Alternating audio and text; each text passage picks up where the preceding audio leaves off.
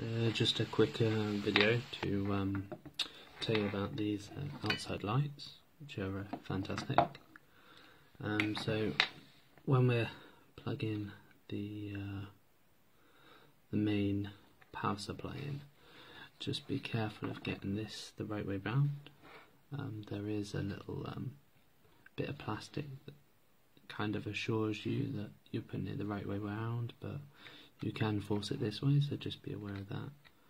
Um, if we just push that in there, and then we can screw it on if you wish, um, but for now I'm just testing it, so I'm just going to plug this in and show you.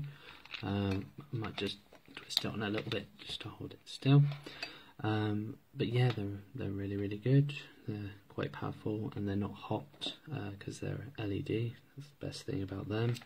Uh, all the connections are the same kind of connection as this uh, for the four lights um, and they're all waterproof because of that.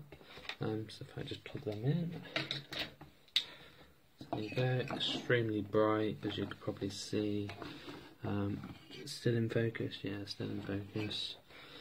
So yeah, they're fantastic. Come with uh, the things that go into the ground, so you can show them up at your uh, your house or whatever feature you have. Um, and then you've got an Allen key and um, that, that's just a bolt and thing to, to hold to connect them onto there so you just put the bolt through so you can push them into the ground. Um, that's it really, nice, simple, quick and easy to uh, set up.